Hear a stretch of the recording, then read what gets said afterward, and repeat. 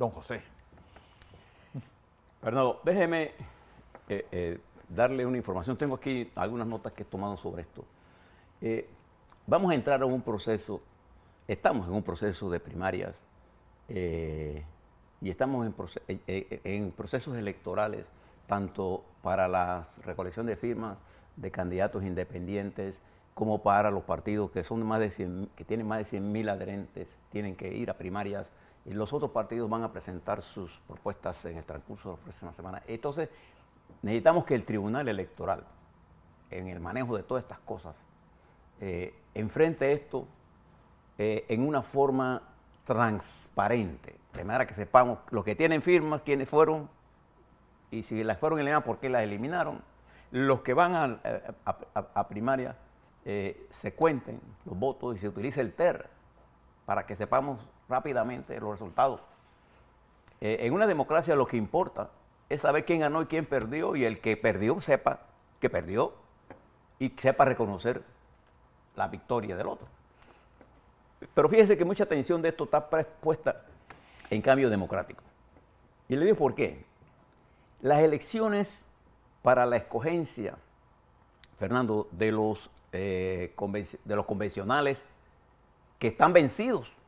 Mm. Estos convencionales debieron ser escogidos el año pasado. Todos los partidos han hecho eso. La convención debió ser en enero. Eh, y escogerlo, ¿para qué? Para cumplir con la ley.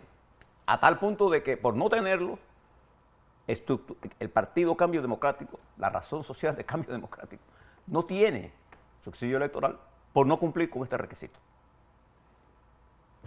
Entonces se dio esa elección, fíjese cuándo se dio la elección, recuerda cifra, el 19 de marzo se dieron las elecciones para escoger convencionales, escoger el Frente Femenino, el Frente de la Juventud, eh, la organización de corregimiento de base. De todo ese proceso, uno vino a tener una idea de por dónde iba esto, cinco días después del proceso electoral. Cinco días, cuatro o cinco días después del proceso electoral. La Comisión Nacional Electoral de cambio democrático que se escogió por el grupo de Rómulo Rux, pidió hasta el 17 de abril una prórroga para dar los resultados ante la Dirección Nacional de Organización Electoral del LIC.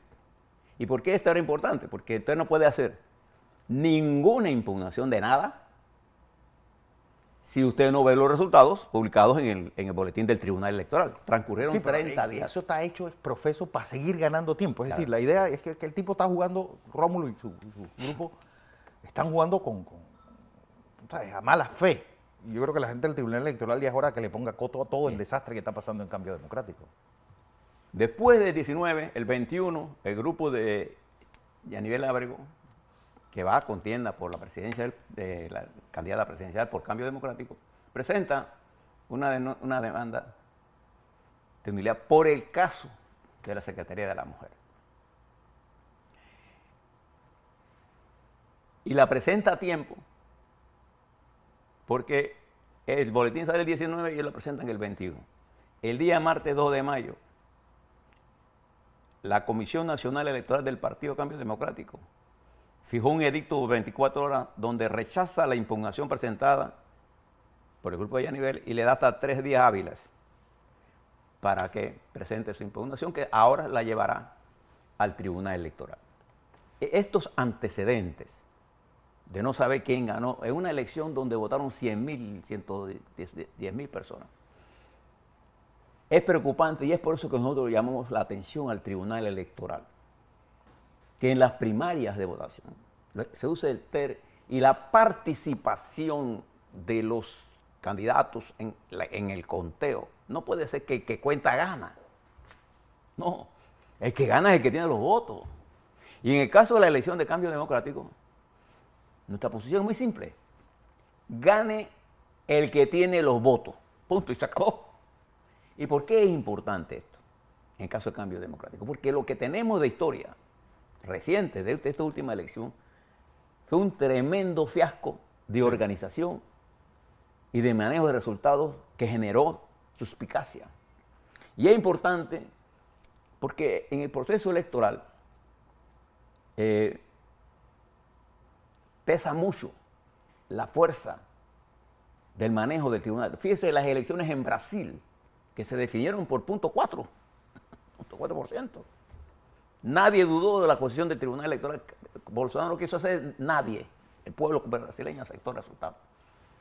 En Paraguay,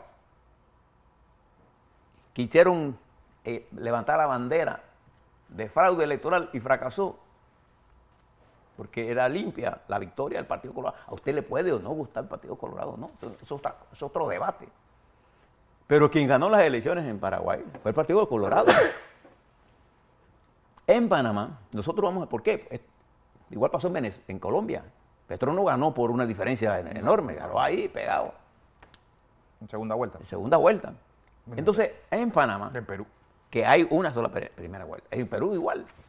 Nosotros necesitamos tener absoluta confianza en el Tribunal Electoral. Y este resultado del Partido Cambio Democrático, eh, cuyas elecciones fueron eh, el 19 de marzo y cuyo resultado todavía no lo tenemos claro, y ahora van a primaria.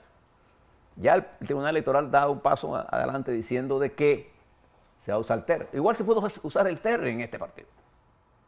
No es que si no el tribunal tenía el dinero que le corresponde a ese partido y pudo haber usado el TER si tenía la intención. Y cobrarlo cuando le vaya no, a la Junta de No generemos dudas innecesarias.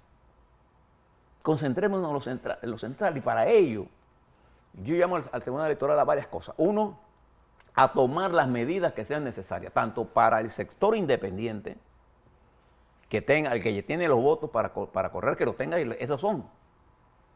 Dos, para que en el caso del proceso electoral de primarias, se utilicen todas las medidas necesarias para que la participación de las nóminas, de los candidatos, esté garantizada. Y que el conteo se haga a través del TER. Que lo cuente el Tribunal Electoral. ya, y se acabó. se acabó. De manera que este proceso, que es apenas preliminar en cuanto a qué va a pasar, porque una vez que terminen todos estos procesos de elecciones y de candidatos, tanto de partidos que van a primarias para la presidencial, a los que van a escoger su candidato de Aledo, o los que van a, los que presentaron su, su recogieron firma, todo ese proceso tiene fecha para que los partidos tengan hasta septiembre para presentar sus alianzas. Ahí es donde uno más o menos va a tener idea por dónde va todo el asunto y es donde el panameño comienza a concentrarse en esto. Hasta ahora son procesos internos. Lo que vamos a medir ahora es quién tiene la capacidad de mantener la unidad de sus colectivos. Ya sabemos algunos que se mantienen bajo una, una férrea unidad programática porque han hecho el trabajo. Entonces ahora vienen otros que tienen más, más, más competencia. ¿Qué va a pasar? Entonces todas esas cosas las vamos a mirar y cuando tengamos eso listo, tendremos una apreciación. Y yo le llamo la atención nuevamente al Tribunal Electoral. Porque desde este momento, las campañas sucias, que el Tribunal Electoral sabe perfectamente que son, son ilegales, ¿Y quién la está haciendo? ¿Y sabe quién la está haciendo? Hay que tomar medidas para parar las campañas sucias porque eso elimina el debate, la discusión, las propuestas. Entonces nos concentremos en eso, que es lo fundamental. Así es.